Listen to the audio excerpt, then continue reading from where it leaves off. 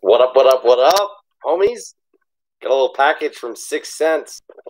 So I'm going to give everybody a couple of minutes to hop on here. I did not warn anybody, give any heads ups um, that I would be live streaming tonight. So just going to give people a couple minutes to get those notifications, hop in here, and um, and then I will open this package here in a couple minutes and hang out with you guys for a little bit, depending on how many people hop in, who's in here tonight.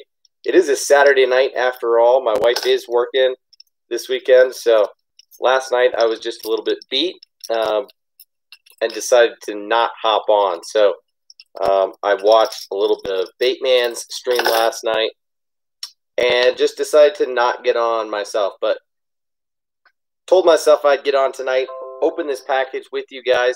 I've got some cool new baits from Six Sense, so excited to show you guys and also check them out myself. Nixie, how you doing tonight? Good to see you in here.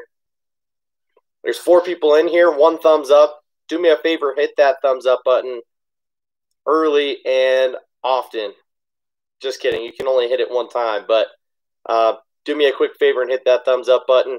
That'll help push the video out a little bit, um, especially after this video is over. So hopefully people get the notifications tonight so that we can get people in here and watching so that I don't have to show this multiple times while we're hanging out. Ryan, good man. Uh, thanks. Good to see you in here. How are you doing, man? As always, cheers, guys. Opening a Coors Banquet. This time it is the Series 2 um, Legacy Series limited release, two of three. This was the can from the 1960s for Coors. Anyway, Ryan, how are you doing, man?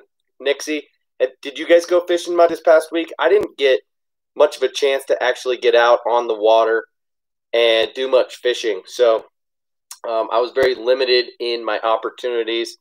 Um, only got out, I think, twice for about an hour at a time each. Uh, caught just a couple fish, but um, did catch a couple of fish on top water on the whopper plopper. So that was pretty fun. Nixie, awesome. Kayak fishing, way to go, man. Um, how did it go? Did you catch much?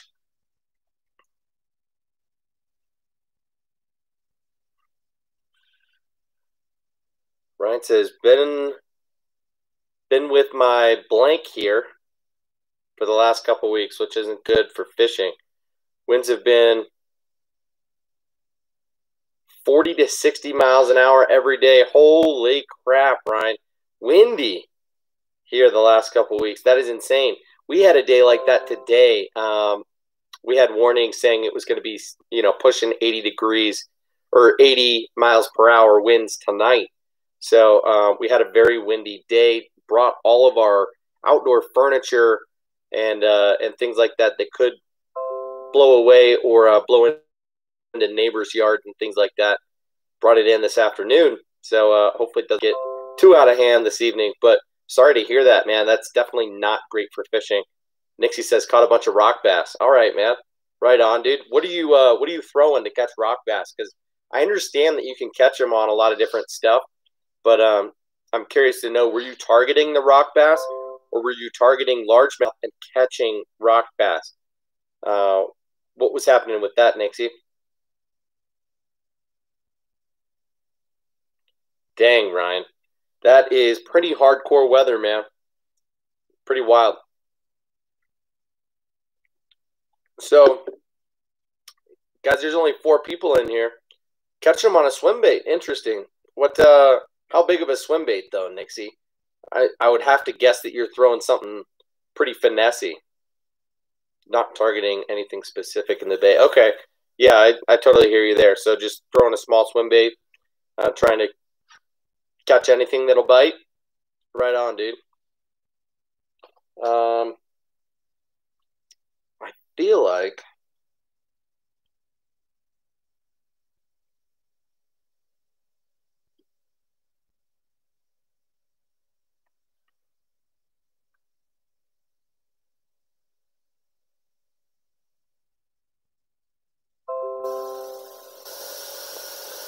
Oh dang! So, um, Ray texted me, and I'm texting him back right now.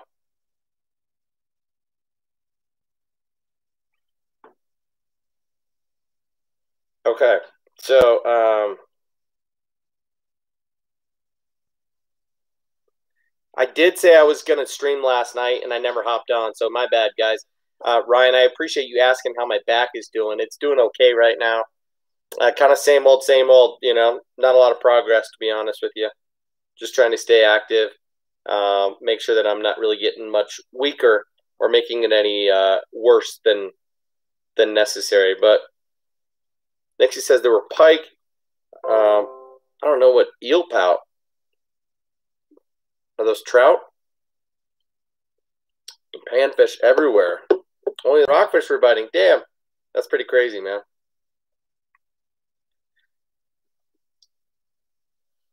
Burbot. Okay, burbot. Yeah. Um, all right, guys, let's get into it and uh, and show you these baits from Six Sense. Let me. I guess I'll just use like a hook. Grab this lipless crankbait and uh, and use it to cut open the tape on this box. So the reason for this purchase was actually because I had, uh, I think Ray told me that one of the new Six Sense baits was just released. Well, not released, but it, it came just back in stock, and um, and I was wanting to buy it, so I decided to jump on it and see. And that bait here is the Six Sense Catwalk, guys.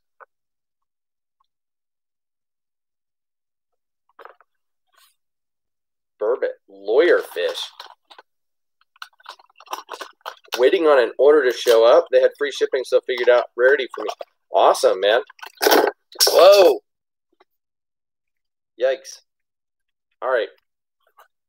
Here is the Six Sense Catwalk, guys. This is the uh, bone color. What do they call it? The Spanish bone. So it has a little bit of like an iridescent, uh, kind of like a see-through hue to it. A um, little bit more color changing than like a standard bone. As you can see, it's got more of a pointy belly to it and a little bit more of a flat top. And that is intentional because this bait is designed to have a little bit of a different action. And it actually goes subsurface as you walk it. So instead of staying on the surface, this one actually goes and kind of swims. Um, so it definitely has a different action to it. And I am excited to have it and to try it. Just got it in the mail the other day. And um, so Ray told me that it was back in stock because initially I was going to grab one and uh, and I missed my chance. So thanks to Ray once again, I made this quick purchase and made sure that I got the catwalk. And while I was at it, believe it or not, they had the Speedwake in stock as well. This is the other brand new bait by Six Sense, and um, and it is a wicked top water bait. This guy is a wake bait that is designed to be swum at the fastest of speeds. So it says it was created to wake at the surface at a high at the highest speed possible without the worry of blowout. Waking this bait over grass, stumps, trees, or simply in clear water can call up the most vicious of strikes. So, Wicked, uh, this color here is called the Black Magic. And as you can see, it's just a single jointed wake bait. It's got a very wide bill a lot of people are saying that it's similar to the old Strike King Wake Shad, and I think there's some similarities between the baits, but um, nice sound there. Of course, I love those those green eyes. So, got the speed wake. Whoa! I'm just dropping these baits, disrespecting them. Got the speed wake and the cat walk. Brand new baits from Six Sense, and um, that is why I placed this order. But of course, as always, you know they get you on the shipping, right? If you spend X number of dollars, fifty bucks, you get free shipping. So I ended up making a point to spend 50 bucks, and then I used um, Kevin Baxter, the bait man, use his code for 10% off. I didn't know that you could use uh, Kicking Their Bass TV has a code for 15% off, apparently. So one of you guys told me last stream. So, um, anyway, I used Baitman's code and only saved 10%. But um, Ryan, yeah, I texted Ray and told him I was hopping on. So my guess is he'll hop on here in the next 20 minutes or so, and I'll show these baits again. I shouldn't have put them back in the package like I just did, but anyway, here they are once again, guys. Catwalk and Speedwake. Super exciting baits there. I want to say uh, the Catwalk is something like 12 bucks and the Speedwake is like 15 bucks. But um, could not help myself. They had uh, each of those in a couple different colors, but when it comes to top water, I usually like kind of a uh, a white base or a black base most of the time. Matthias, what's up, dude? How are you doing tonight?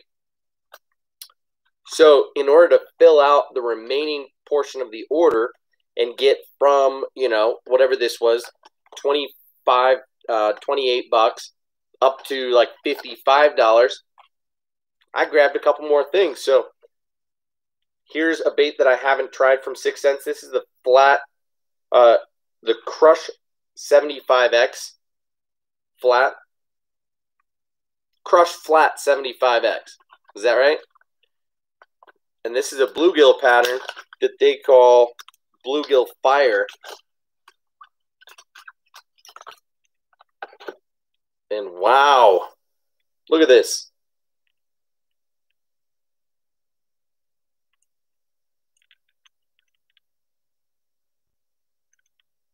I mean, that is just a beaut. Bluegill Fire, Crush 75.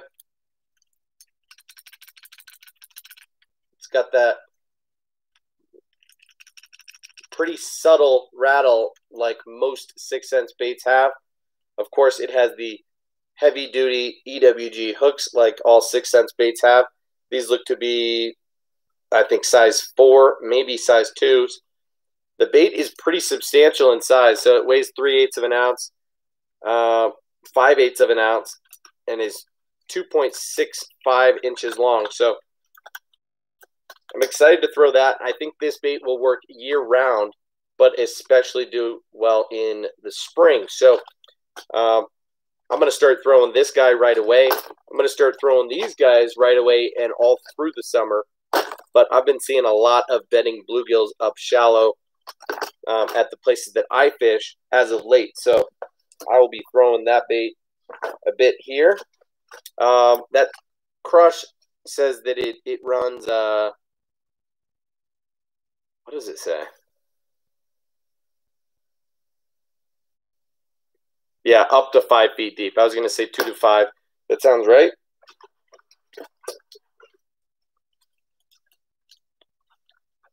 Yeah, Ryan, text me a pic when your order shows up for sure, man.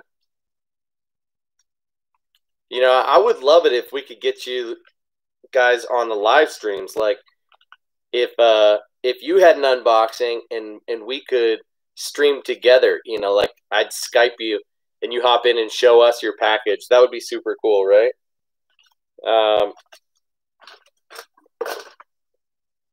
all right, I've got a Six Sense Divine Hybrid Jig I've actually never had a hybrid jig. I've only thrown the um, Divine swim bait or swim jigs and swim baits. All this Divine stuff is uh, is getting the best of me, but the hybrid jig I have not thrown. This guy has, as you can see, um, a different shaped head that is a very versatile shape. Uh, this thing will come through most types of cover, and that 3 8 ounce head is actually pretty dang small. You know, as you can see, it is smaller than my fingernail there. So, very manageable size jig here.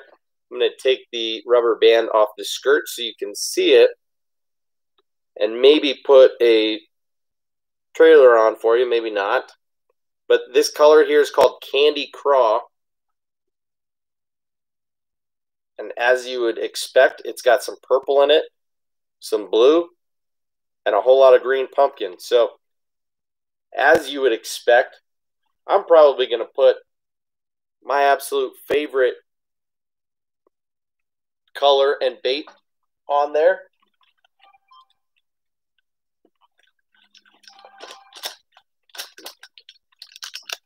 And that is the Chameleon Rage Bug.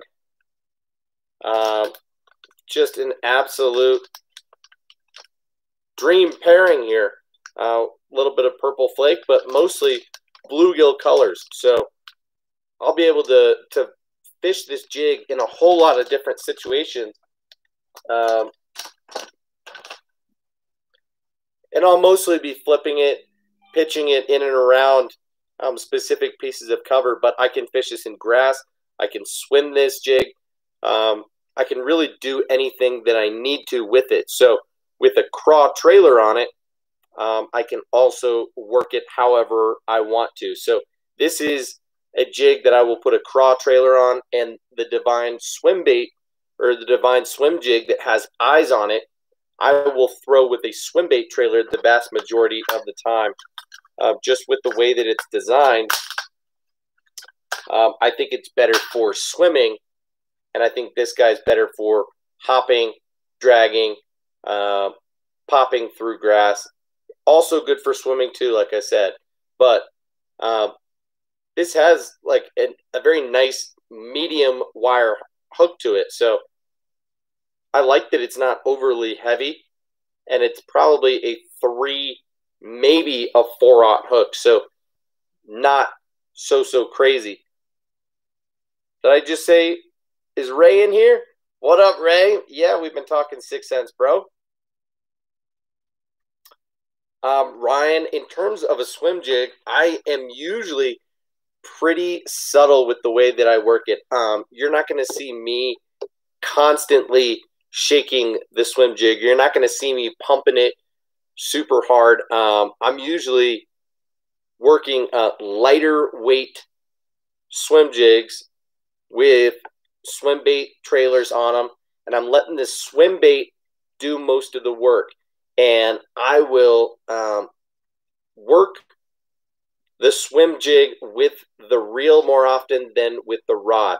And that's just me, you know, I'll, I'll work it on a steady retrieve and then kind of pop it with the the reel every four or five turns. Uh, so I'm really only making the bait dart or do something different uh, a couple times per retrieve. But I find that I get bit at the very beginning of the retrieve um, or after the fall when I start swimming the bait um, or after one of those uh, start and stop portions of the, the retrieve. So, what about you, Ryan? Yeah, I agree, Luke. Um, Six Sense swim jigs do go through grass great. So um, until now, all that I had from Six Sense were those divine swim jigs. I'd never really tried the uh, the hybrid jigs, and at five bucks a pop, they are relatively expensive jigs. So I'm not gonna lie, I don't have a ton of them. I have a uh, a handful of their swim jigs, and that is it. So um, anyway, wanted to check out this jig, try it in a few different scenarios, and see how and where I might like using it best.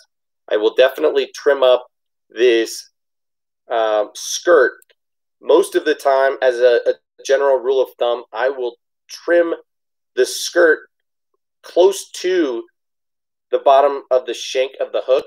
But in this case, because it's a shorter hook, um, this is actually going to shorten up the skirt a little bit too much. It's going to make it very finessey. So I'm probably just going to take off bottom, you know, eight to a quarter of an inch, and um, and that should be perfect with that rage bug. By the way, Ray, um, I sent you a pack of those, so maybe I should whip those out while we're at it. I pretty much always carry a pack on me. Um, I've shown you guys this box before, and it's the kind of Plano box that has, you know, four slots and then one open compartment. And I've showed you how I like to take uh, clamshells of soft plastics and load them into that side.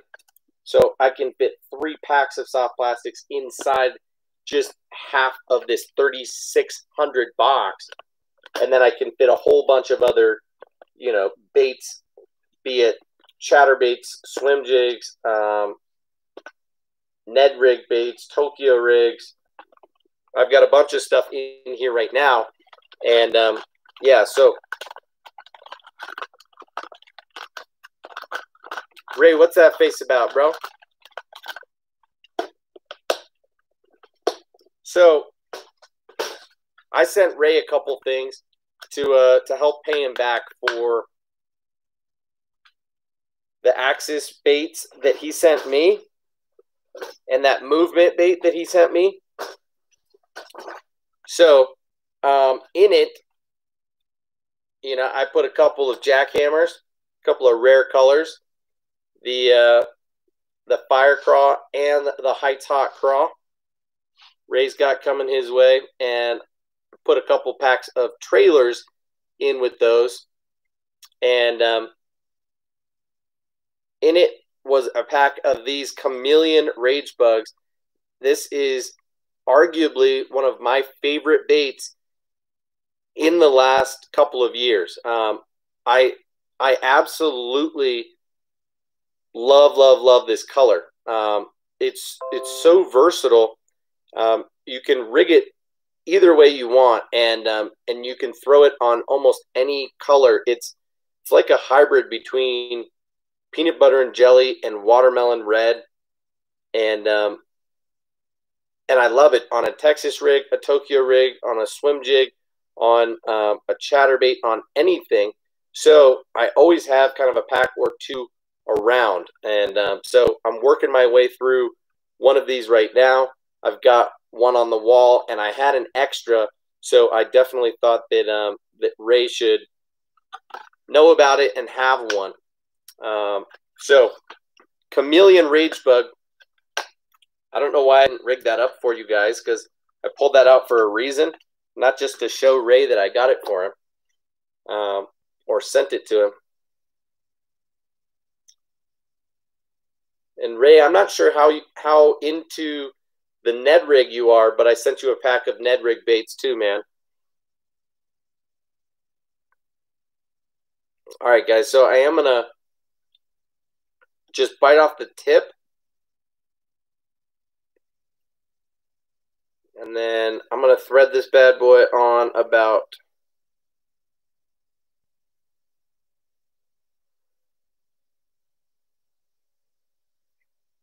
a little bit more than halfway down. And um, Ryan, don't talk about my concentration right now. Hope you're not.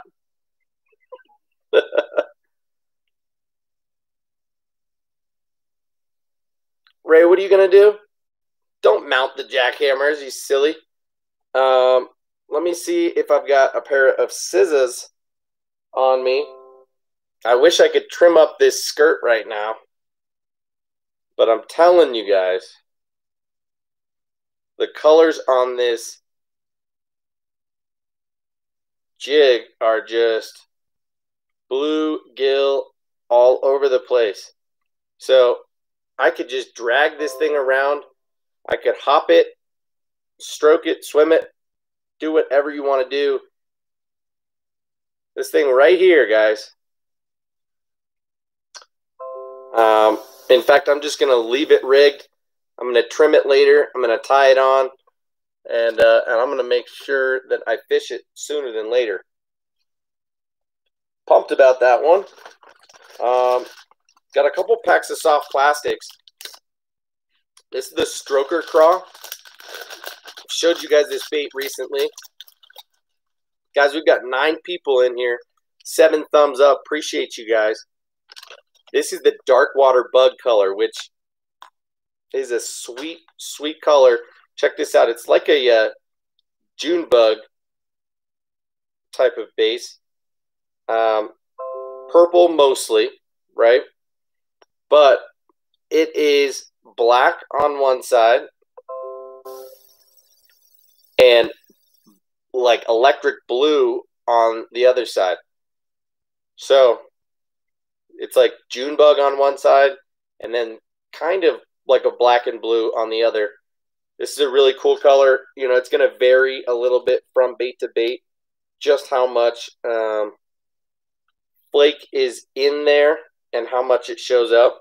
But um, really cool color there, the dark water bug. I've got that in the um, in the clout worms, but um, wanted to get a pack of these. I tried this bait in the green pumpkin um, already and really, really like it. Here's the thing, though, guys. These uh, these kicker claws are kind of like a uh, like a speed craw type of deal, and also kind of like a double tail grub. And um, it's got a, a pretty aggressive swimming action, but as we've talked about before, these legs are pretty thick. And so you have to swim the bait pretty fast to get um, these legs kicking pretty well, which is fine. But uh, what I've noticed just through fishing the bait um, over the last you know week or two is that over the course of using it, these legs get a lot softer. Um, and they swim easier. So, you know, as you see, I've got it rigged sideways right now on this uh, Project Z chatterbait. I've rigged it both ways and actually liked it um, just a little bit better like this. But um, anyway, it has softened up. So I think this might be one of those baits that you could certainly boil ahead of time to soften up um, you know, people boil their baits for for a couple different reasons, right? The main reason is to to straighten out a bait. If you've got one with a super kinked up tail, for example, you know, um, this isn't a, a great example because I, I try to take care of most of my my tails, but let's say you pull one out of the package and it's got a super kinked up tail. Um, you can dip it in super warm or bordering on boiling water, and um, and then just lay it down and it will flatten out. So let me look at these comments because I see you guys are popping off right now. Russ Dennis in the building. What is up, dude?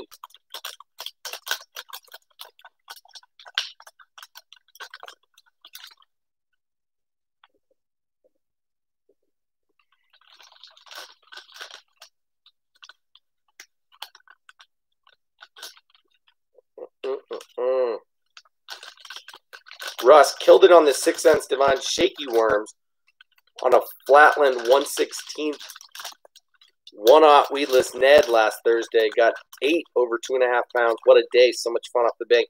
Dang, bro, that sounds like a killer day. Good for you, man. Congratulations.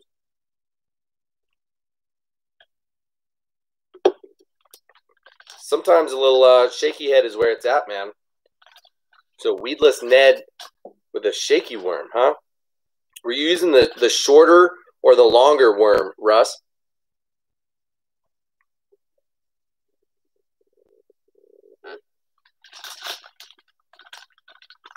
So Ray, speaking of uh, which ones need to be on the wall, man. Did you already see that Spanish bone catwalk, or do I need to pull it back out of the box for you, bro?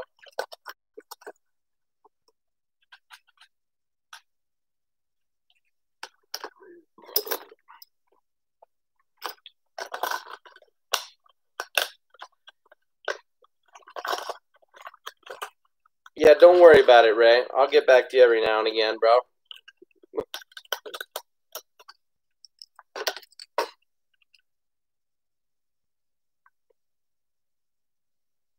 Mm-hmm. Isn't it wild how how uh, pointed this belly is, Ray?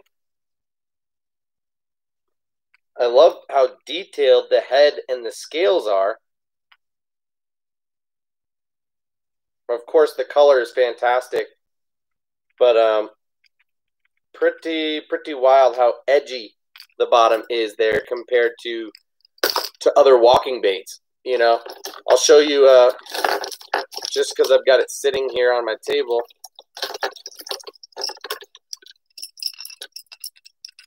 Like here's here's that six or the uh, Strike King uh, sexy dog, the hard knock. Look at the bottom. That thing is flat on bottom.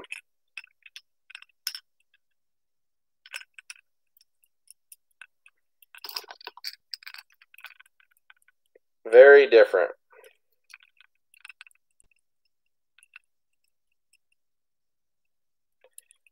So,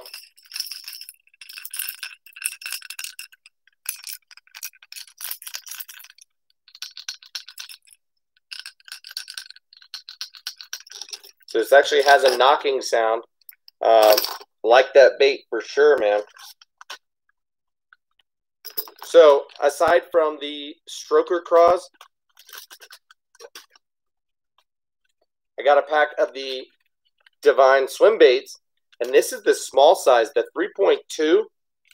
Um, I believe it is. Yep. And this is the Gill Dust color. These were on sale like super cheap. I should have gotten a couple packs of these because they were like, I don't know, less than three bucks for the pack.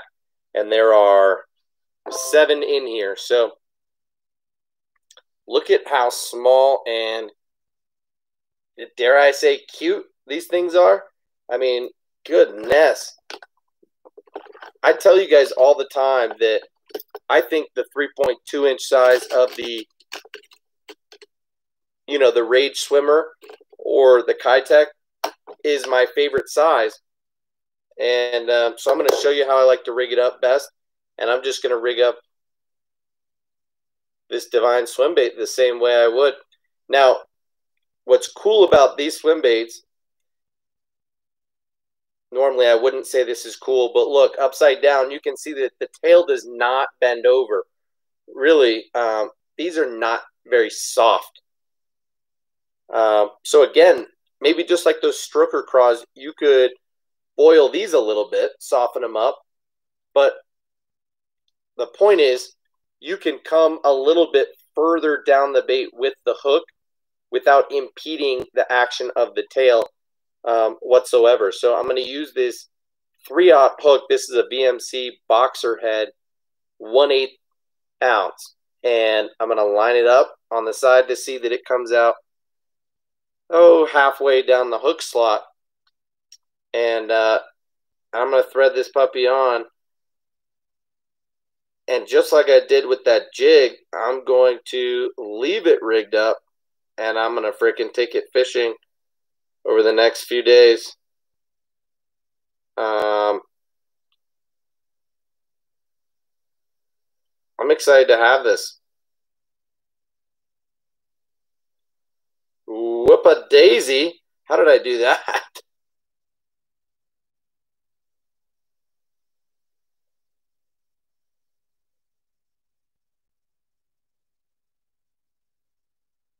All right, here we go.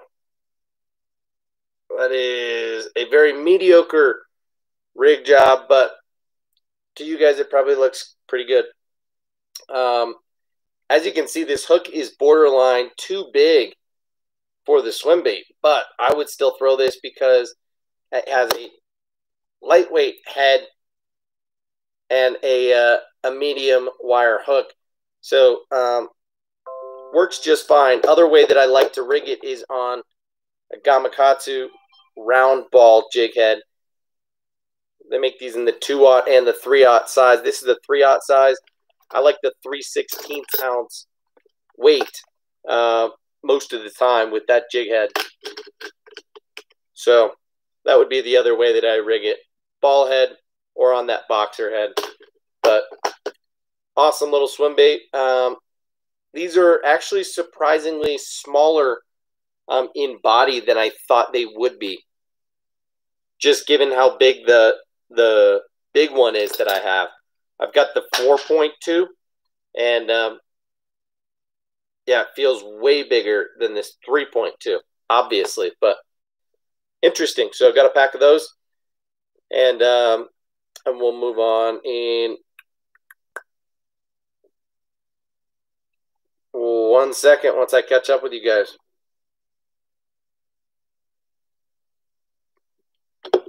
Yeah, Russ, I was going to mention the size of that that Ned hook on a divine um, shaky worm, you know.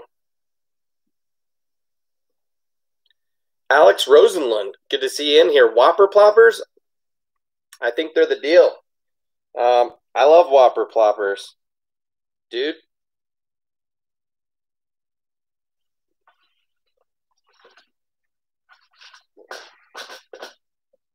Didn't we talk about Whopper ploppers last time?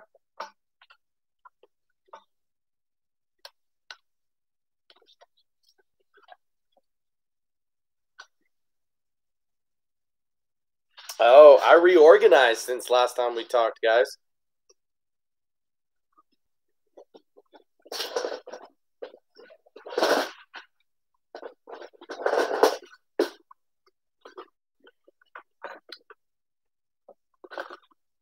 So I've got some of my ploppers stashed in this uh, top water box that I'm kind of consolidating, but yeah, Alex, I love the Whopper Plopper.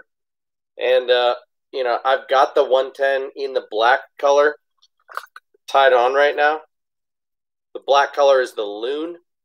Um, that is probably my favorite color, but I also really like this bone. Uh, the 110 is my favorite size. And then the, the 75 is probably my next favorite. Uh, Ray and I were texting, I think, earlier in the week about the Whopper Plopper. He said it's not quite for him, but that's because he's got them in the 110, which, guys, the 110 weighs right at about an ounce. Um, so, Ray says it feels a little clunky, um, a um, little bit big to throw, which, you know, is a valid point, but the Whopper Plopper 130, as you can see, this has still gotten bit quite a quite a lot. Um, weighs about an ounce and a half, and um, sure, it needs to be thrown on a true heavy power rod, but the Whopper Plopper 110 at an ounce can be thrown on a medium heavy or a heavy um, with ease. You know, I throw mine on a heavy and I feel super confident.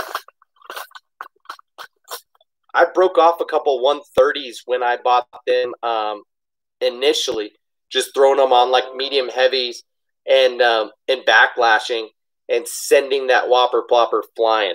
Uh, they're they're pretty heavy at an ounce and a half, but the 110 at an ounce I think is very manageable and it still has a very solid presence, um, a loud plop to it, really good action. So I like that plopper 110.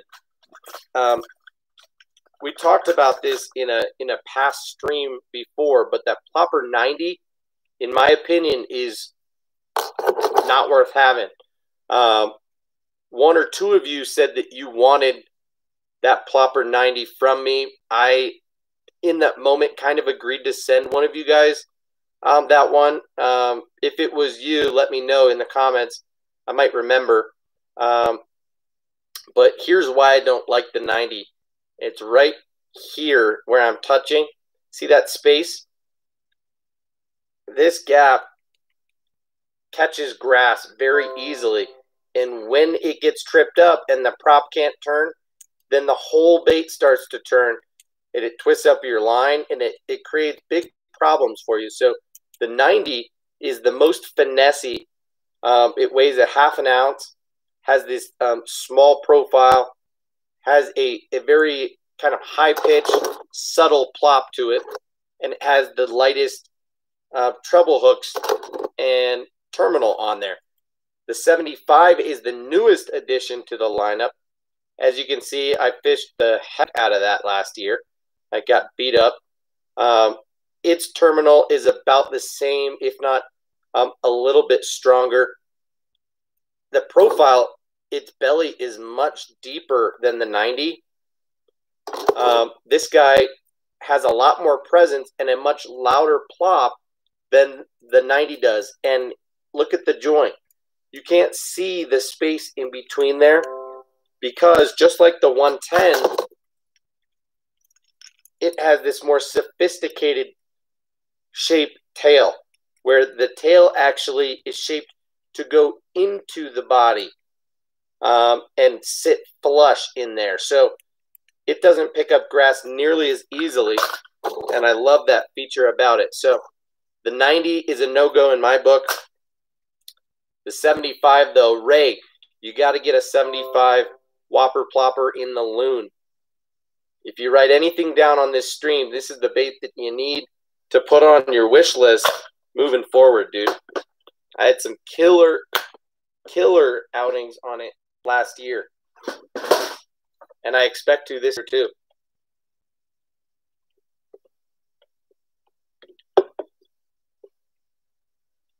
So, Alex, I hope that answers your question. Um, I just bought some of the Choppos and the Savage Gear. Um, what do they call it? The uh,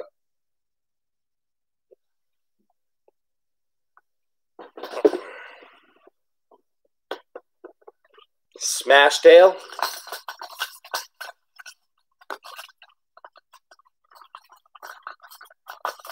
Just bought some of these to to compare alongside the Whopper Plopper. So the Smash Tail has a a narrower body, has um, more realistic fins on it, multiple fins, and then has this like um, metal ball in the tail. And like the Whopper Plopper, it has a, a pliable plastic tail. The Choppo, on the other hand, by Berkley, has a hard plastic tail that is not bendable whatsoever. In fact, if you were to cast and hit this bait on some rocks, I believe it would crack and break on you.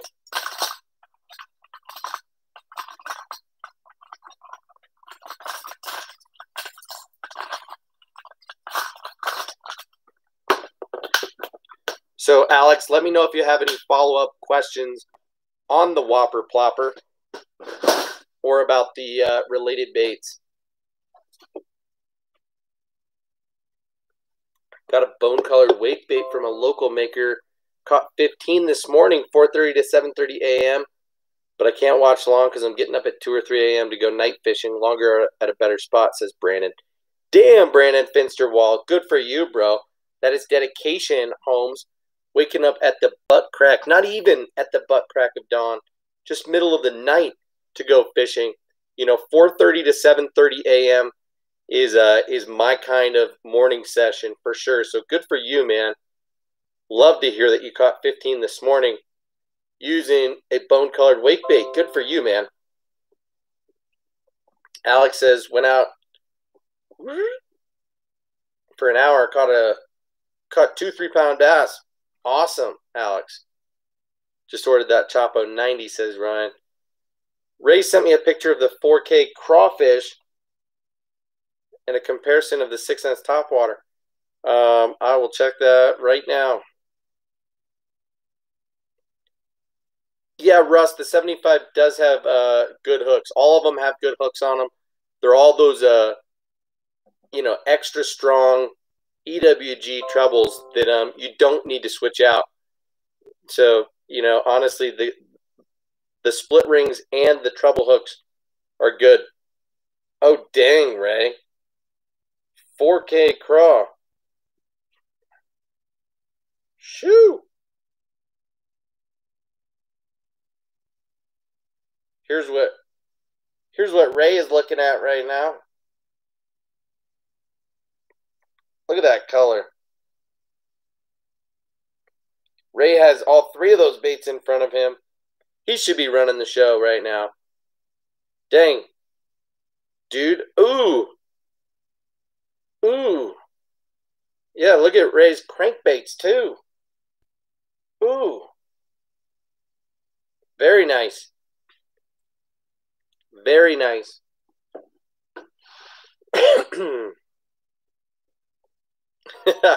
Made your wife go, oh, wow. Pretty funny.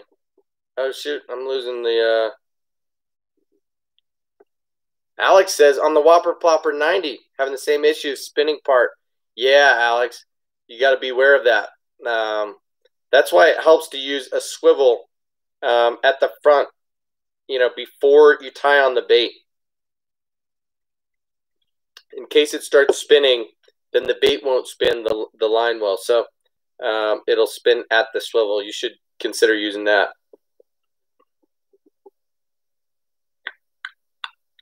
Darren in the building. What's up, dude? Good to see you in here, man. Just placed an order at BPS full of square bills from their sale. Four bucks for the KVD 1.5. Nice, man. Yeah, that's a pretty good deal.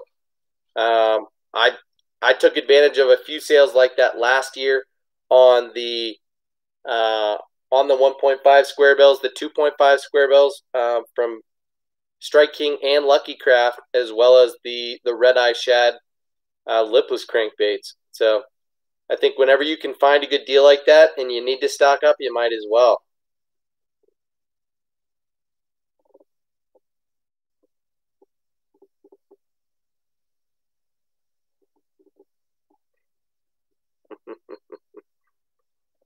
Any suggestions on little smaller crates like kicking action for maybe like Texas rigs? Wait, wait, wait. Little smaller crates or baits for light Texas rigs? Was thinking shaky head. Been using the Ultra Speed Craw, but need more variety. All right, Darren. Um,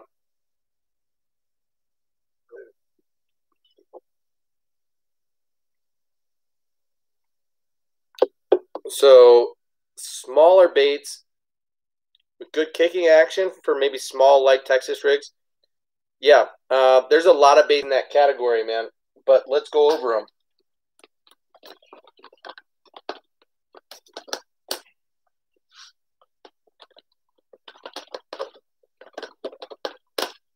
Because I've got a lot of them here in person, and I think you should Check them out. Oh, smaller craws. Okay, craws.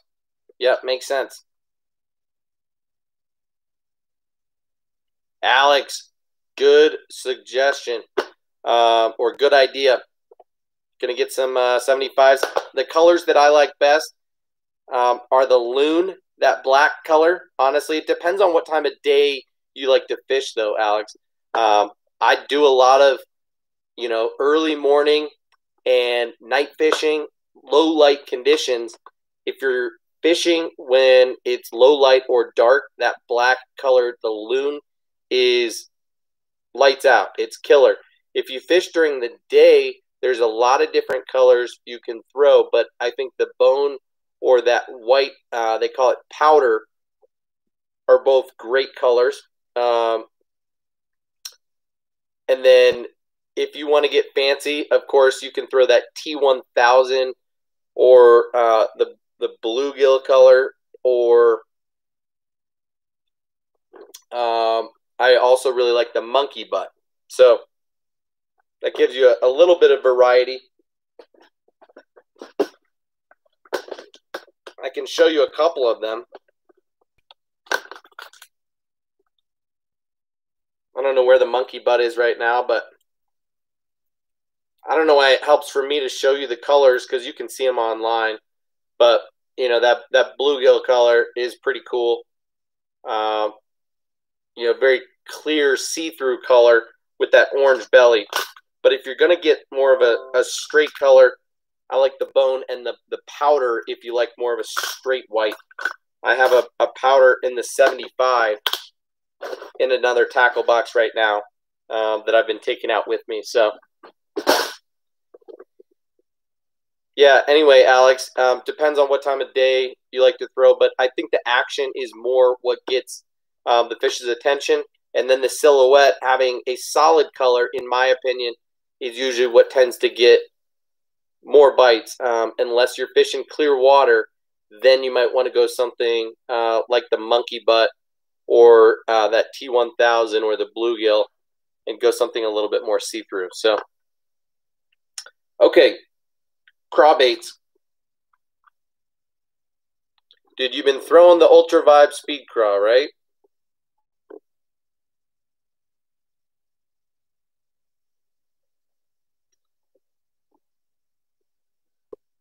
Uh, Darren, you, you might want to try the Z Craw.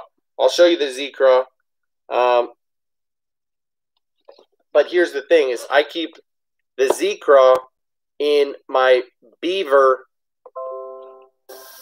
um, box instead of my craw box.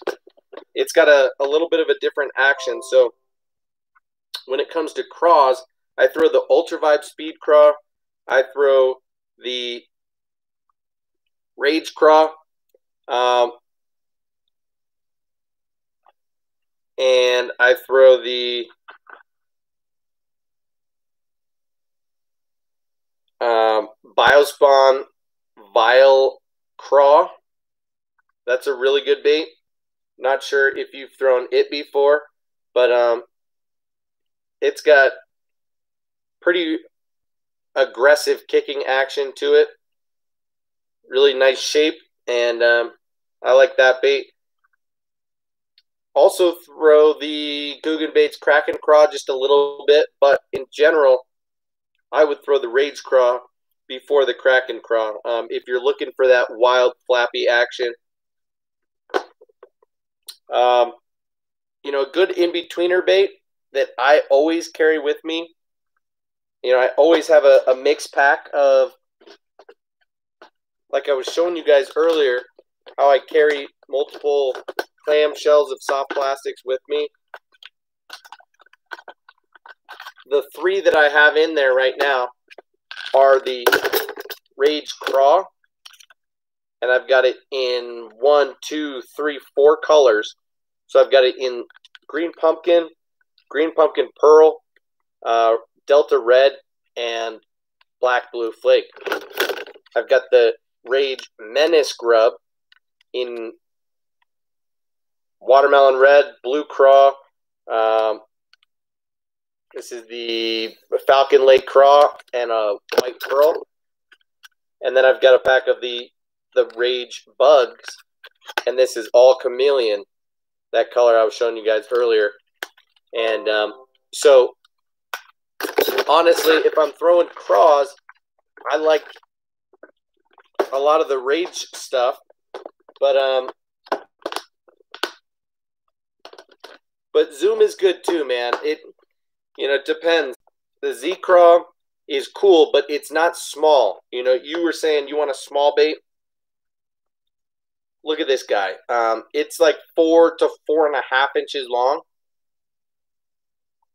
and um, and it's great on a swim jig you know, you can see that it's got the flanged kickers, right? So it's got great kickers. But here's the thing is this body, just like a lot of Zoom baits, it doesn't get poured very consistently.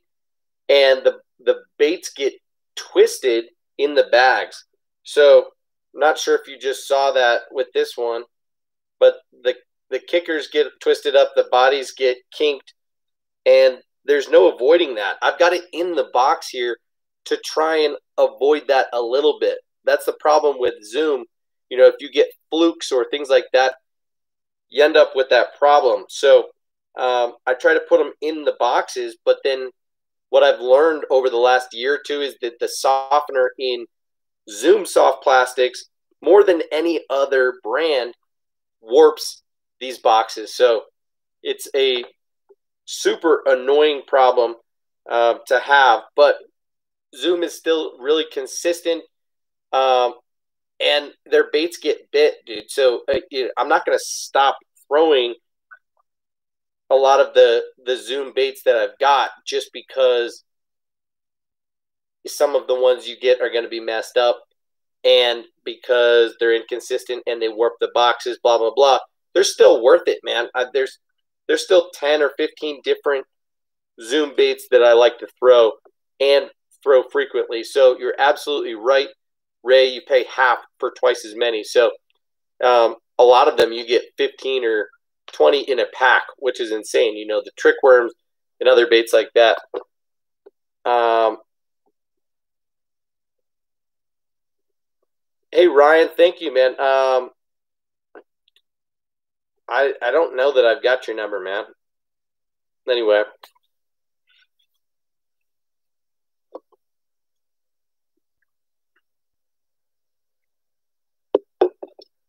Brandon says, I think the bone color is doing well at night because the moon is so bright. You can see pretty well right now, for sure. So, um, in with the bugs to compare alongside, say, the Z Craw. And I know you say the Z Craw Junior is a good option.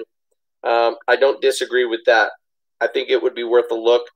Um, in here, I've, I've also got the Bandito bugs and I've got the Rage bugs. Um, I just showed you the rage bugs. This is, you know, one of my go-to baits for most applications. It's a little bit more durable than the Bandito bug, and I, I think it's got just as good of action, if not better.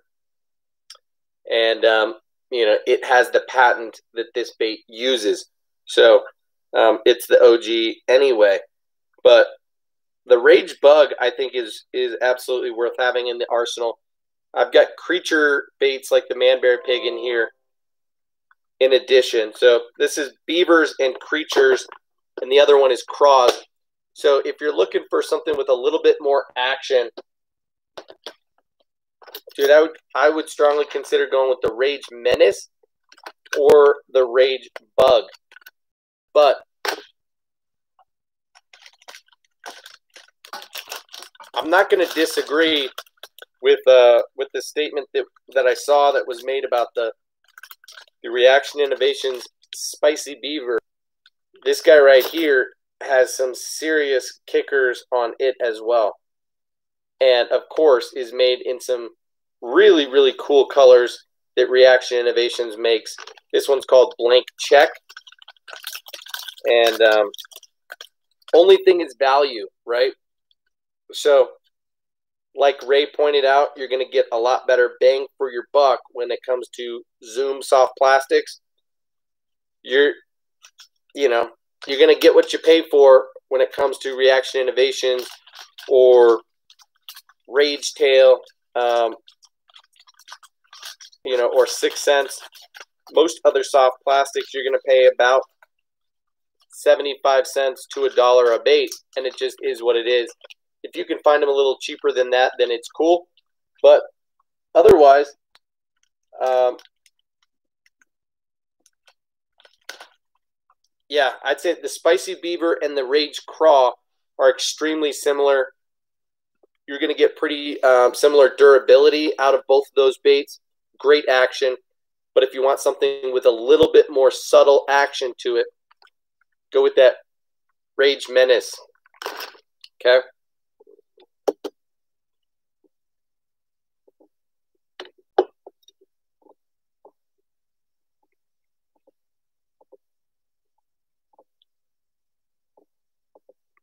Oh, you guys are loving on that Z Craw Jr., huh? Holy hot damn.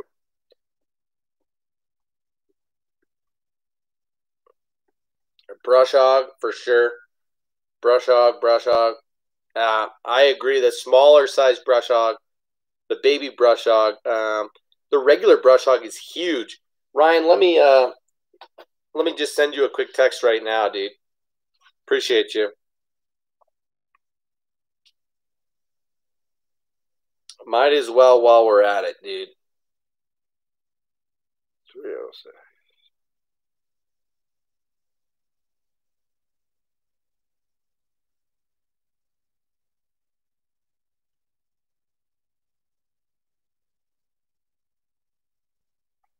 Okay.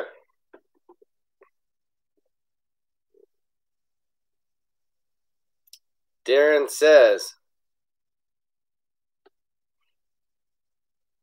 if you could pick one Googan soft plastic, what would it be? Uh, so one of their soft plastics, yeah, I would probably choose the Bandito bug, man. But like I said, um, it's extremely similar to the Rage bug. I just showed you them side by side, and um, the Bandito bug uses the Rage bug's patent and has a slightly worse uh, durability to it. Ray, stop it. um, so the durability is not quite as good, but the price is about the same. The action is about the same. The main thing that makes them different or different um, are those two appendages on the side, right? And then the scent. The scent is really the main thing.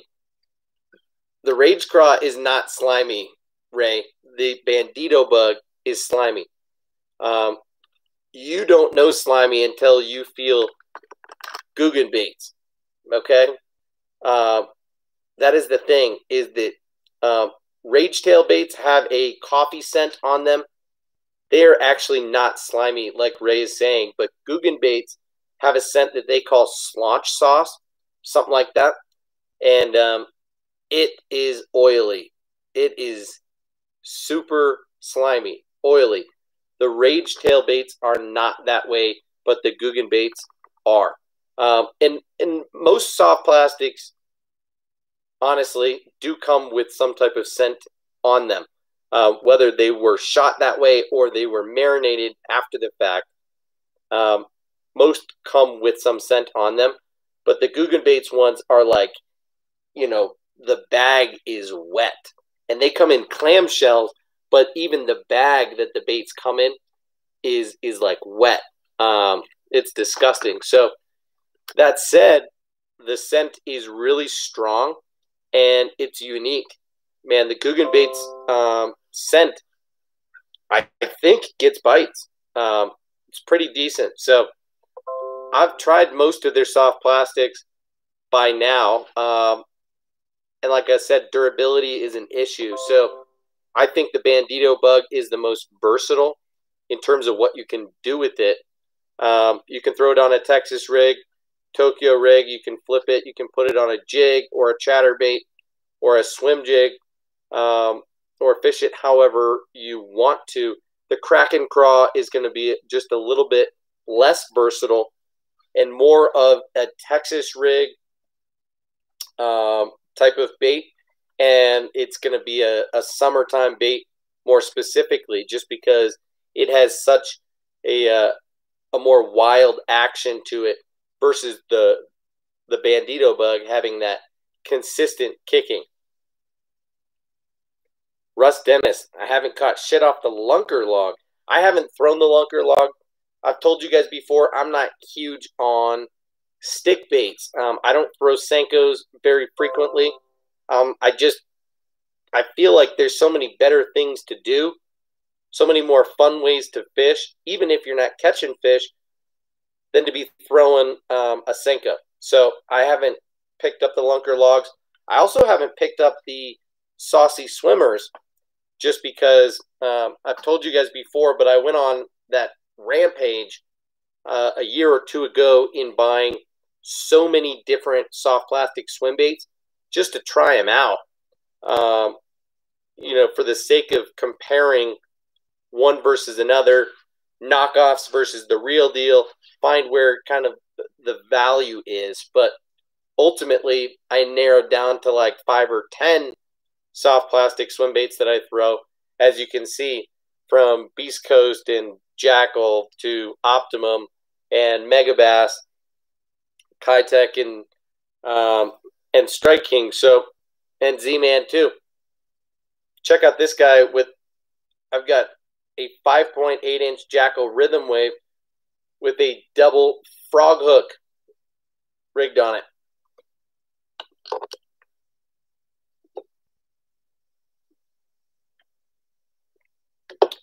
Yeah, Ray, you're probably right. Um, it gets bit because it's a rage bait copy.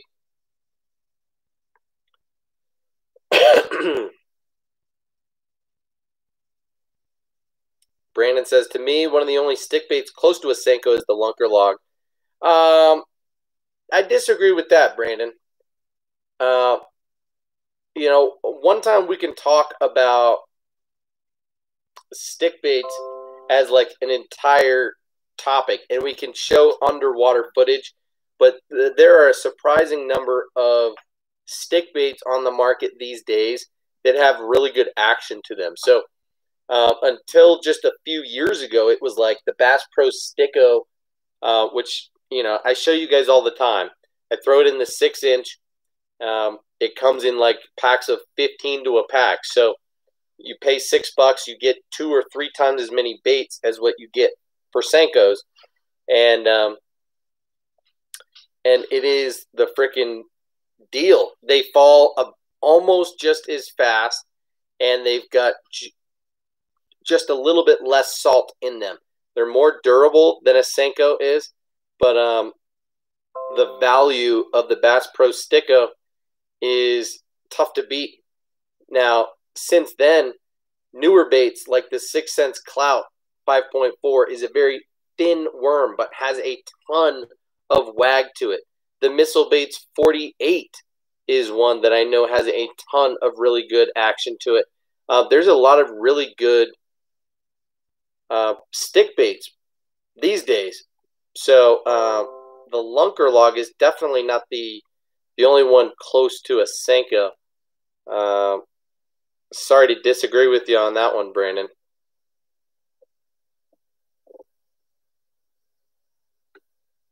You know, Frankie, um, here's the answer. Some people hate Googan baits because they um,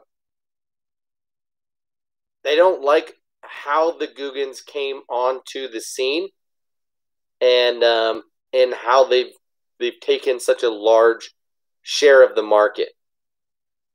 And I mean that in a couple of different ways. Now, uh, one, they came onto the scene super fast.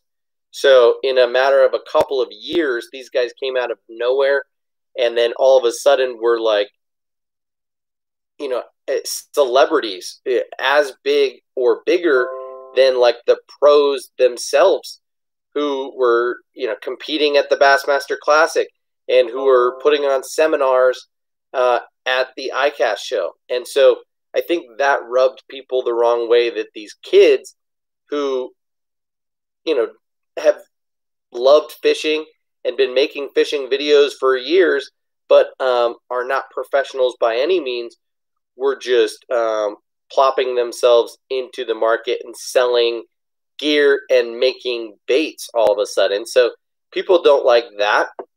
Um, but the other thing is uh,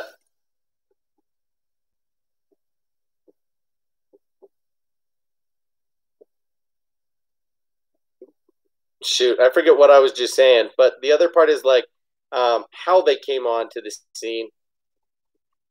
Um,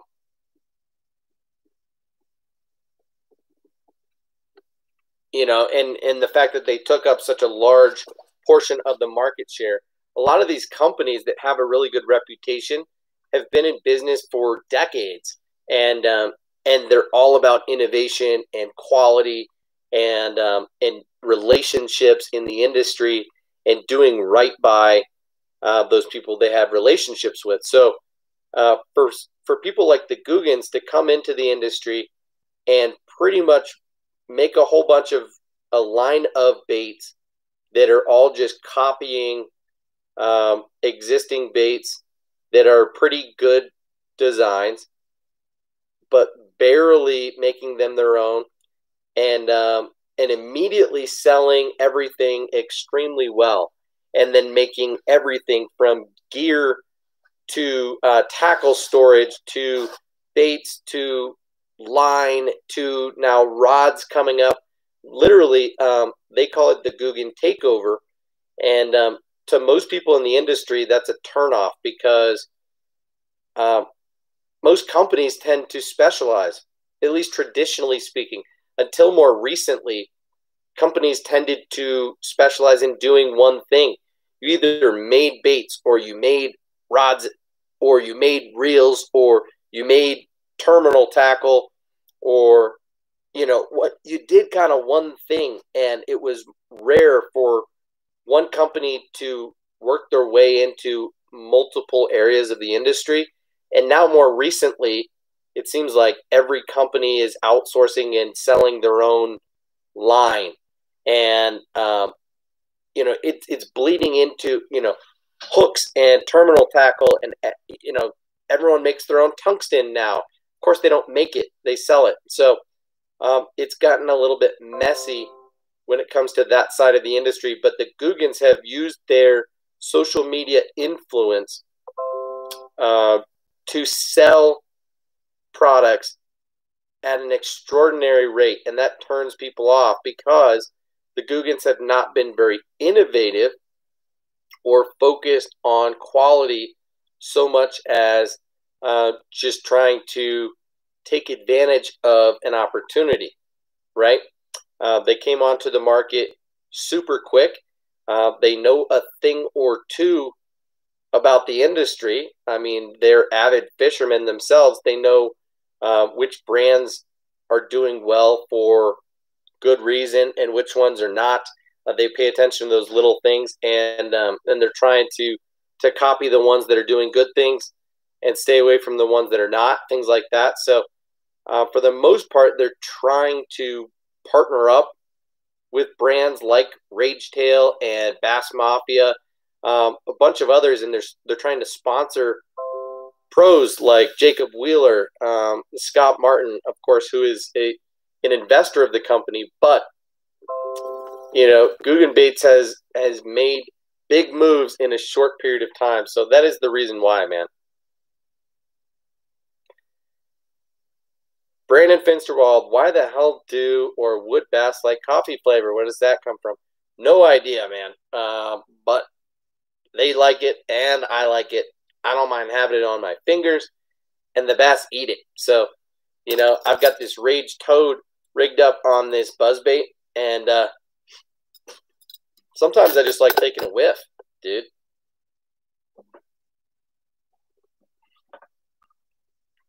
Russ Dennis have to try the frog hook on the swim bait. Yeah, man. Pretty cool idea, right? Check that out. I've got it buried into the sides of the bait, so it does mess up the integrity of the bait when I do this, but check this out. Bang. Pretty easy to set the hook right into the side of my finger um, and break through that soft plastic. And I had it buried in there good. So, um, absolutely love that. You do need a wider swim bait like this. This is the Jackall Rhythm Wave. Um, and as you can see, that is just a perfect fit. This is the Stanley Ribbit, um, the top take frog hook. Um, I think it's in the six aught size. But uh, yeah, pretty cool way to rig a swim bait. Might as well put two hooks in it, right?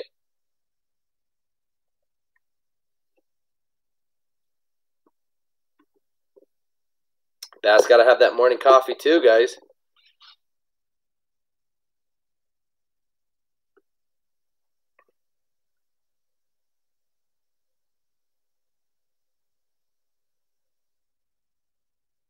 Ray says, I agree with Tyler. It's a shame they're made in China, though, but such is the case. Uh, way too much in America.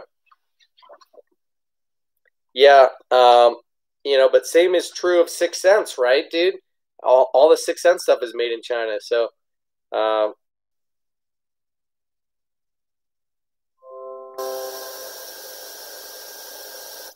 appreciate it, Russ. Yeah. Um, you know, some people are going to hate on Googans, but and it's for good reason. But that doesn't mean that uh, it's warranted or that you should either. It's mostly just that they've had such good success so quickly, and that it's not like they're proven or that they're experts in the industry. They didn't have to work their way up. They just kind of, you know, uh, took advantage of an opportunity. So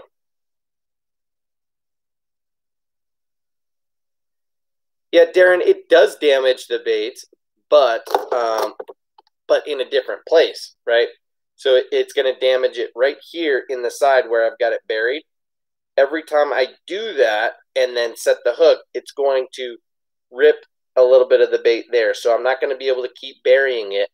And eventually, I'm going to either have to use a new bait or I'll just switch to a beast hook, something that's a little bit more standard with a single hook, or I will chop it down and I will put on, you know, I'll thread on a swim bait uh, jig head on there. So, guys, I've talked to you about this swim bait before, but this swim bait is a sleeper. I don't know why nobody talks about it, but the plastic is high quality. The design is wicked cool, edgy. The colors are poured extremely consistently. Is the Jackall Rhythm Wave. All their plastic baits are worth a look. Some of them are expensive, but they're swim baits. That Rhythm Wave is sweet. So, to those of you who follow me on Instagram, you would have seen this the other day. Found this at the lake the other day when I was fishing. I got skunked, didn't catch any fish, but did find this on the bank. This is the Storm Arashi Square Bill. And um, this is the three foot diver. I don't have any of these in my arsenal, but it's a pretty nice, like, you know, $9 square bill, something like that. It's got a circuit board lip. It's silent, as I just showed you. It's got pretty good hardware on it that comes stock, and it's got a fat body. And um, and what's really interesting about this, like some of the Arashi baits, is the line tie. Um, let me see if I can show you guys this.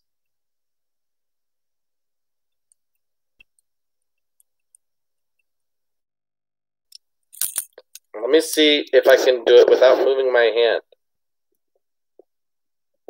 Do you guys see that? This line tie connects to the bottom of the bait through the bill and it actually um, goes up and down just a little bit which is really cool. It's like a self tuning type of line tie. Really like that. So anyway excited to try this square bill. Silent bright square bill. Russ dennis have a great rest of your night, man. Uh, thank you for hanging out. Appreciate you. Uh, good luck on the water. Again, tomorrow. Keep at it. Yeah, I haven't checked out those new boats that uh, Rackley and Rob got, but I'll probably check that out at some point soon enough. Ryan, um, I just I haven't yet. I don't know uh, what sort of sponsorship deal they've got going on with their boats. So, anyway, I'm not entirely done with this package, by the way, guys. I showed you the swim baits. I showed you the craws. There's a there's one more thing in here that I ordered from Six Sense, and that is a pack of jig heads and a couple packs of skirts so Phoenix boats, okay, for sure.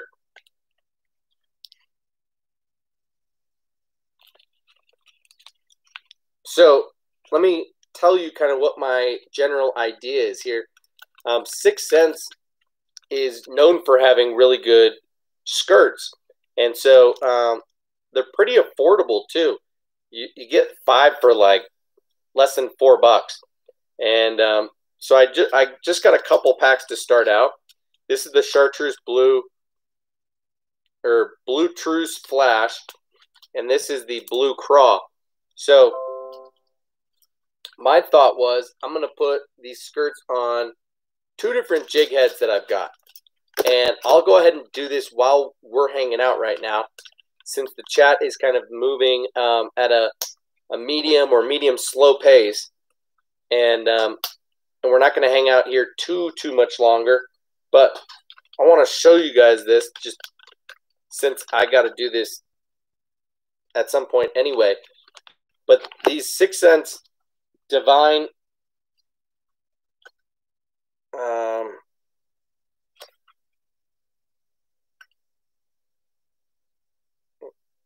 I don't know what these are called, but the the divine swim bait heads, but they're jig heads.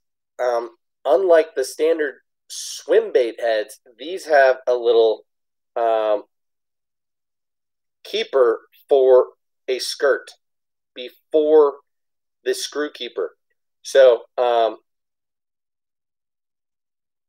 this is like the only one that you can buy. I don't know that you can buy these painted, and but this is unpainted. This is the half ounce size. It's got a five aught hook in it. So my thought was I'm going to use this head and this skirt, and I'm going to rig this swim bait on there. I'll show you guys right now. Isn't like 99% of their audience being fishers, though. Maybe. Um, I don't know about that. Because they've been doing uh, boat fishing content for, for a long time now, man.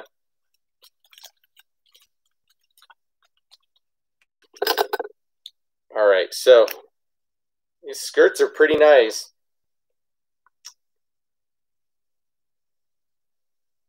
So I'm going to go ahead and thread in the longer side. You know, the skirts are going to be pretty much through the middle, but there's always going to be one side that's a little bit longer than the other. So just going to go in the longer side.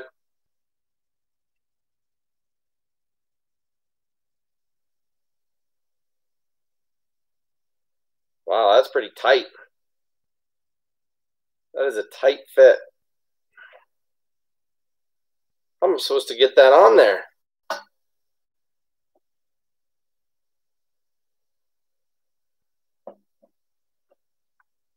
Oh boy. Guys, I've never done this before. You're catching me off guard here. And this is sketch.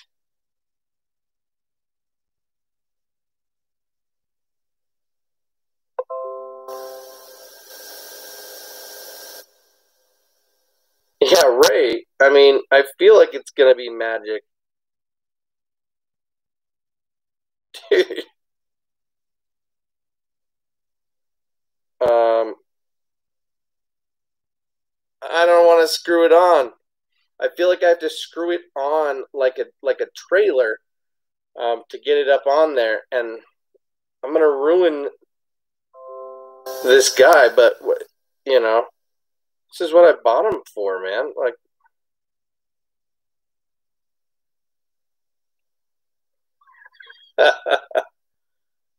I'm twisting it all up.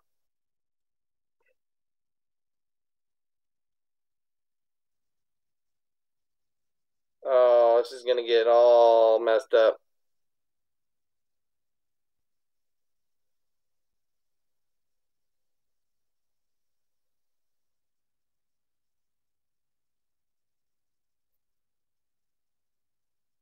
Oh no!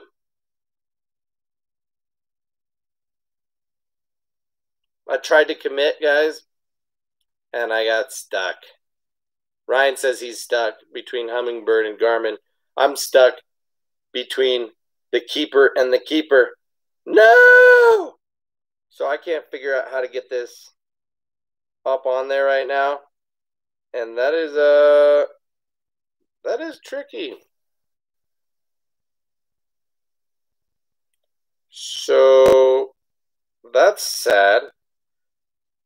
I need to shred this to get it off, but basically what I'm going to do once I get this off, which I don't know how I'm going to, I'm going to take another one of these skirts and I'm going to take the rubber band and cut it off.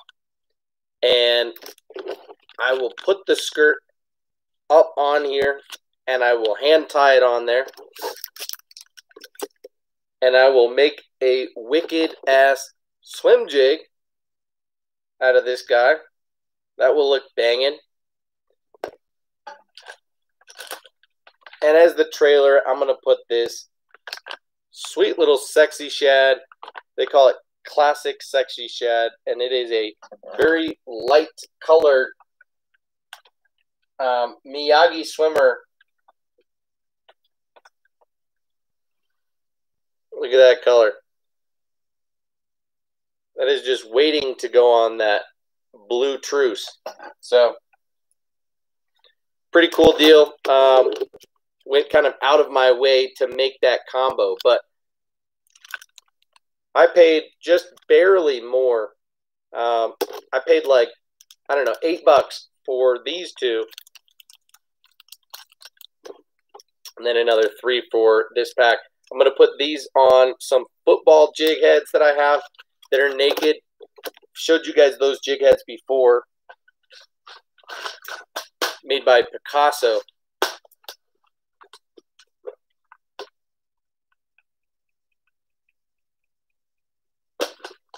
Crazy that they're not in that box.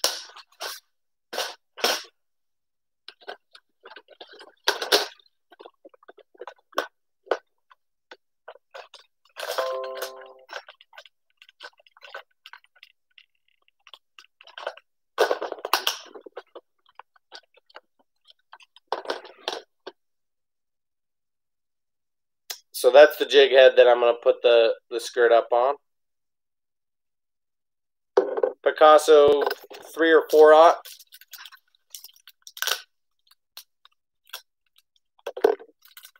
Guys, I've all of a sudden I, I got to pee pretty bad, so I'm to have to dip out of here. I know that you guys are, are talking about um, trolling motors and stuff.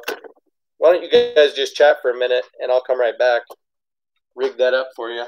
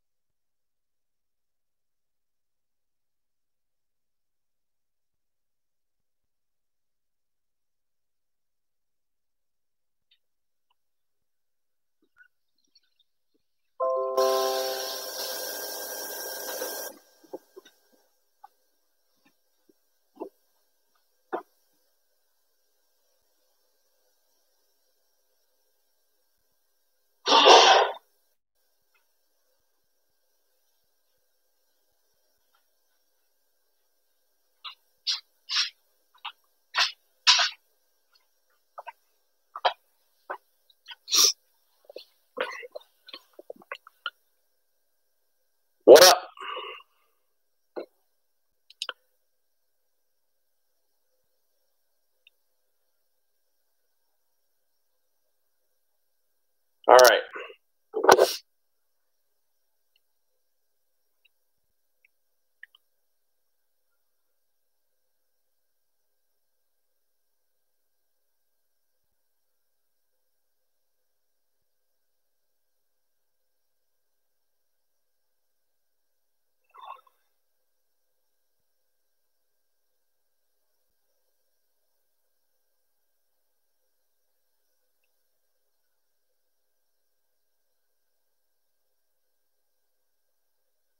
Shove that business up on there.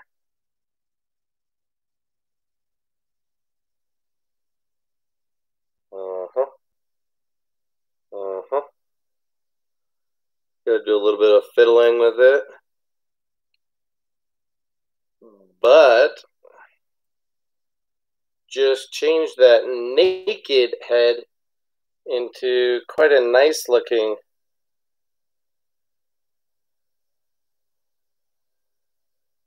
football jig. Ask me, Blue Craw.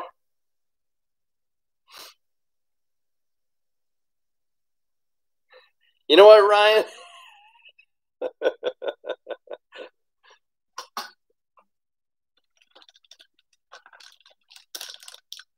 Guess what I'm throwing as the trailer on this puppy?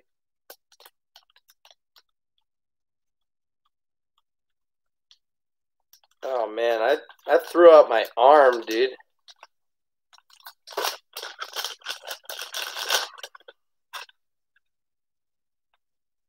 Magnum. Actually, no. Nay. I will not throw that. That that hook is too small. Instead, yo, I'm gonna go with the Blue Craw Rage Menace. And that is gonna be a pairing right there. I wish I had my scissors down here. I really need to trim these jigs up. I've got a pair of scissors. Ooh, baby. Here comes some more, a little bit more concentration for you, dude.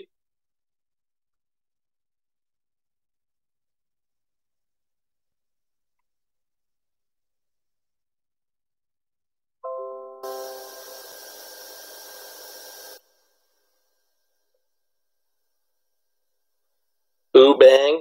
Ooh, bang. Bada boom, bada bing. Need to trim that business up.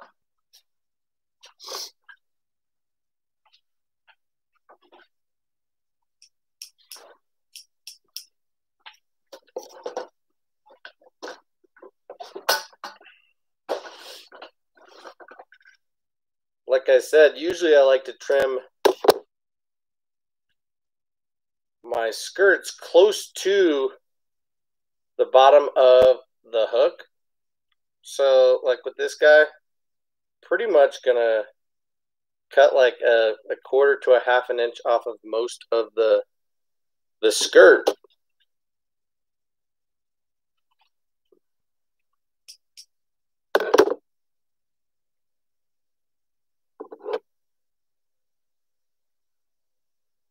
And uh, I want this short, but not too short. You know, I just don't like it long. There's going to be a couple little longer strands in here, but for the most part, now this guy is flaring out nicely. Consider trimming down that trailer just a little bit, but for the most part, that is right where I want it to be. So I'm going to go looking for some rocks to throw this around. Um, and voila to the law. Happy about that. So, no way Ron Holly from Idaho just jumped in here. So anyway, I mostly got these to uh to to try out the skirts, see what they're like, what the material is like, because I figured the colors were great, but um, wanted to play around with changing out skirts on different baits. You know, I've got some chatter baits and swim jigs that have lost their skirts over time. I had some uh, jig heads like this one that came naked and I bought you know these these swim jig heads from Six Sense that I could I thought I might be able to put the skirts on, and I am gonna have to hand tie them on there, which is fine with me. But um, cool to try out jigs and customize um, your skirts and play around a little bit. So, fun little package from Six Sense. Got some jig heads, some skirts, a couple packs of soft plastics, and most importantly, the brand new top water baits new on the market from Six Sense. So really excited about those, and um, we'll be putting them to work soon here. Quite honestly, um, as I told you earlier on the stream, I caught my first uh, top water whopper plopper fish um, earlier this week. Caught a couple of them on the loon colored 110, and um,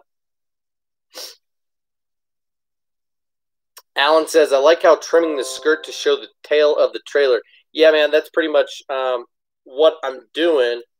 Is I'm, you know, the the reason that you have skirt on there is to have it flare and give the bait secondary action.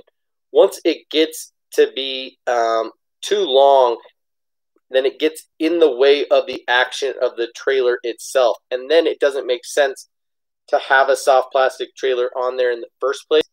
So if you want it to kick, you want to make sure that the, the skirt is not coming down to the the tail of the trailer itself. Whether you're using a swim bait or a craw or whatever, doesn't matter. So yeah, that is pretty much the point, Alan, is trimming the skirt so that it, it's not over the tail of the trailer but I also like, as a general rule of thumb, like, like I said, to pretty much trim it up to the bottom of the hook. But in a lot of cases, that makes it very finesse cut and gives uh, a very small profile. So, like in this case, I think that's plenty finessey, and um, and I didn't go quite as low as the hook. But like I said, that's because this has a little bit smaller and lighter wire of a hook on it than a lot of jigs do.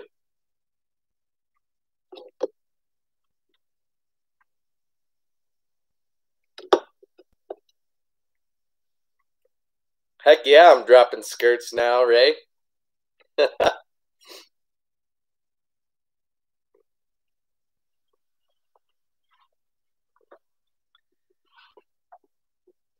Ray says, Tyler, what about my jig slash Z-Craw color combo I messaged you about?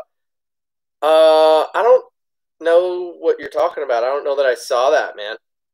Oh, didn't you send me a, a picture? Like I said, I didn't. Um, I hadn't gotten that text. When I texted you earlier tonight, I said, "Sorry, didn't see this." Uh, whoa, dude, that looks pretty crazy.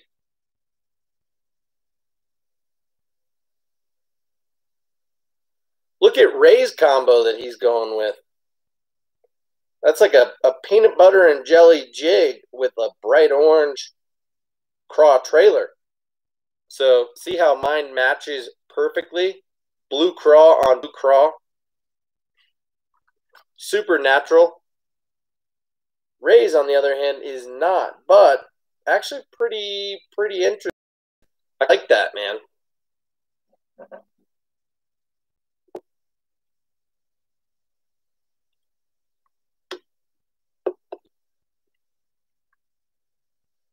And Alan, yes, I have.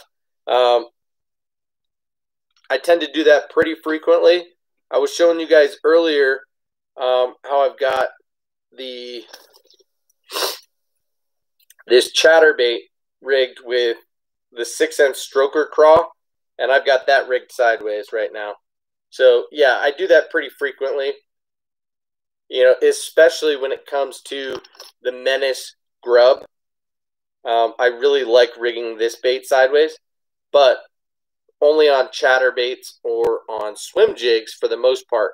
If I'm throwing it on a swim or on a football jig like this, or if I was throwing it on, um, you know, more of like a, a flipping style jig, like if I had put like this guy, the one that I got earlier tonight, um, then I'm going to want to rig it like a craw and not sideways. So speaking of, while we're at it, now that I have the scissors, I am going to trim up this skirt as well. This is the hybrid jig, uh, Six Sense hybrid, divine hybrid jig. And, um, and I'm just going to take off the same amount kind of across the board. And I'm going to trim off maybe um,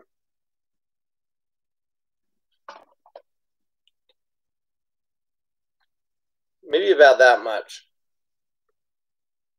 Not quite that much. I'm gonna about half of what I'm holding right now.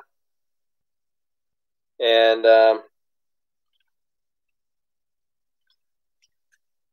so I'm taking off maybe an eighth, a little less than a quarter of an inch, and um, that will significantly shorten up um, the skirt as a whole, but still leave a fair amount of length on there. So that is what we are left with now. In my opinion, that is just about the right length. And you see, I, I didn't cut it straight across. It's it's a little bit longer in the middle, kind of tapers down, uneven skirt. When I'm trimming, I'm not going straight across. I'm kind of cutting at an angle. Snip, snip, snip, uh, so that it's uneven. It's going to pulse a little bit better in the water. So this guy here, this combo, is one that I'm psyched about. And um, yeah, got some some really cool stuff in this package that I'm I'm pumped about, guys. So appreciate you guys watching um, and hanging out tonight. There's nine people in here right now. Ten thumbs up. Really appreciate that. If you guys haven't already hit the thumbs up, do me that favor and do it real quick. Um, this Six Sense package that I got in the mail this week was a pretty exciting one. Um, and I'm happy to have these baits. I don't know when the next time is that I'm gonna I'm gonna stream. My wife works Tuesday, Wednesday, and Thursday of this upcoming week, so I'm gonna be on um, at least once, if not twice, uh, maybe three times if you guys are crazy lucky um, this upcoming week. So I'll, I'll probably be on Tuesday or Wednesday of next week. I apologize for not hopping on last night, but um, as I said, I was just kind of wiped out. And of course, Brian Waterman, OG, in the building. I've been on for an hour and 43 minutes, and I am signing off right now, dude. Sorry to say that, man. Um, Alan says, besides the skirt, have you trimmed the weed guards? Yes. So um, I actually didn't trim this Picasso. It comes pre-trimmed and too trimmed, too short, in my opinion. Look at that. It barely covers the tip of the hook. Now, the Six Sense one, on the other hand, is just perfect, if not a little bit too long. As a general rule of thumb, you want the weed guard when you collapse it to be pretty much as long as the keeper, the barb on, I shouldn't say keeper, but the barb on your hook. So not the tip, but the barb. And so this one is just about perfect. I wouldn't ordinarily trim that. Um, this one on the hybrid jig, though, take a look at that. And this guy is too long. Can you see that? So I am going to trim that down as well. And Six Sense doesn't trim their their weed guards at an angle, but I often will. So I'm gonna double check again to see how much I have to trim off and it's not a ton. So all I'm going to do is trim off that, you know, essentially it's this much. But I'm going to trim it at an angle like some jigs come straight out the pack.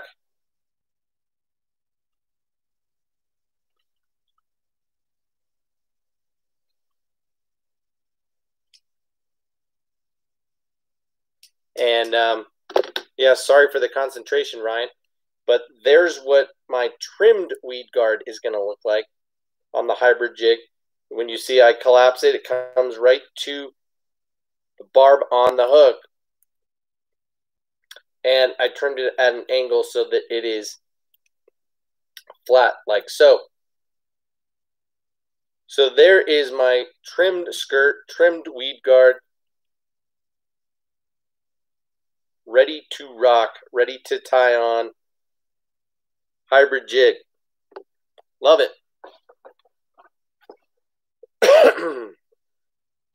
the UFC fights got you, Brian. Interesting. Yeah, I don't know that this show is is worth rewatching, man, but appreciate you hopping on. Um, I will rewatch the UFC fights, but thought I I uh, you know owed you guys one to be on here. So I apologize for for not being on last night, as I mentioned, and uh, and I hope to be on twice, if not maybe even three times this upcoming week. So, topic idea for this week: shad colored trailers like for chatterbaits. Sure, man. Um, I'd be happy to talk about shad colored trailers for chatterbaits. Um, why not?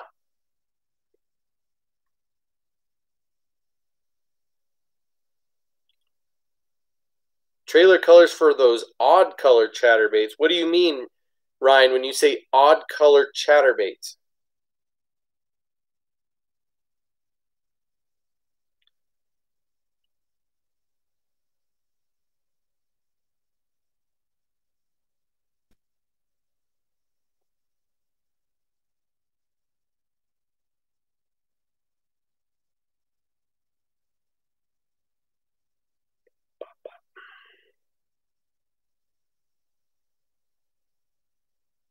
Yeah, I like this.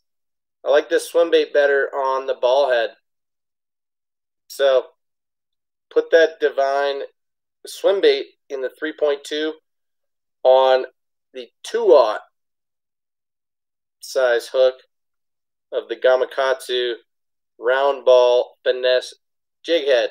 And um, I think that's that's the way to rig this guy. It's the way I will be fishing it, at least initially. Look at that. Really skinny, small bait. Smaller than I thought it would be, but I like that. I think.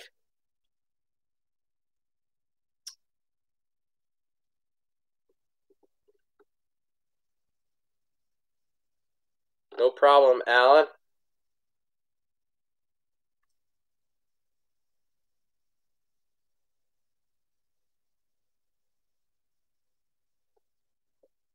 Mm, Ryan, colors that aren't the norm, or just like with that green pumpkin, something that's a little bit different.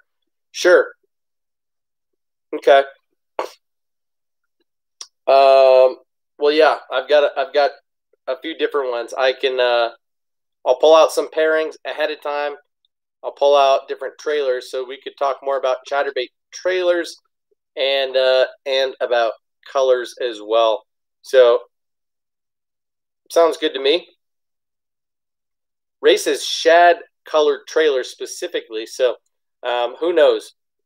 You guys tell me if you'd rather it be um, a trailers color situation or if you'd rather it be chatterbait trailers specifically.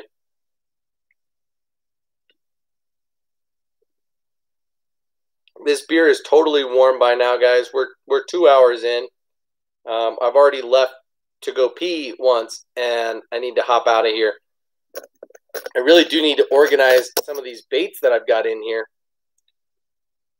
Did we talk about the Cavitron buzz bait last time, guys? This guy is still not tied on, but needs to be.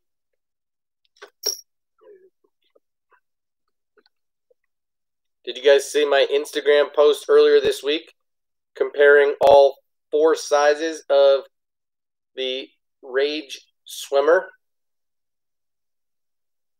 I shouldn't say all four because there's five sizes, but I'm going to hold these side by side for you to see uh, just how drastic the differences are or the difference is between sizes. Um,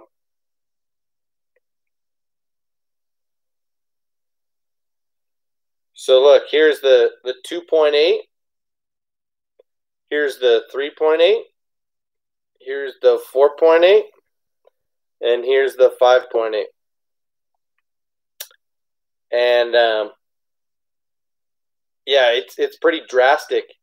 You know, going from the the five eight to the four eight. It's pretty drastic going from the four eight to the three eight, and then again from the three to the two eight, and uh, and that's ultimately why I like that three point three inch size. Um, I think it's a really great middle size in between the the three eight, which makes such a great swim jig trailer. Uh, it can be a good chatterbait trailer, but really good standalone finesse swim bait.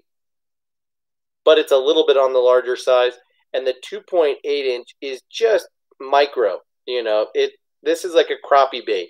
It works for largemouth and smallmouth, but the 2.8 inch is is so small that 3 3 size um, is a true middle ground. It's it's so comfortable. Uh, the fish gobble it. I've I've got it rigged uh, a few times over there, and I'll show you guys next time I stream in a couple days. But anyway, guys. Uh, Ryan's comment above what?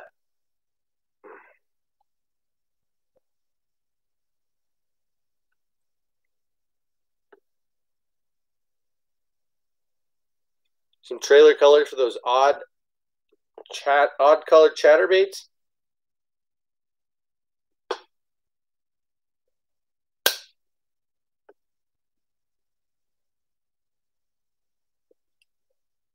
Sorry, Ray, I don't know what you're talking about, bro. Uh, we will talk about chatterbait trailers, specifically shad colored chatterbait trailers in the next live stream, guys. So, um, hope you guys have a great rest of your night. It is 11 p.m. my time. We've been on for two hours tonight. Um, it has been a smaller crowd than normal, especially when it comes to our regular crew. But Ryan, Ray, Brian, um, Alan, appreciate you guys hanging out um, and participating in the chat. Ron Holly, you as well. So, um, thank you guys for hitting the thumbs up button. Thank you for hanging out tonight. If you're getting on the water tomorrow um, or before next time we hang out, I wish you the best of luck. Feel free to reach out at any time with questions you might have, whether it be commenting on um, individual YouTube videos or sending me an email. Feel free to uh, to get in touch with me. However, and Ryan, you've now got my cell phone. Um, Right on, guys. Have a great rest of your night. See you in the next one. Cheers.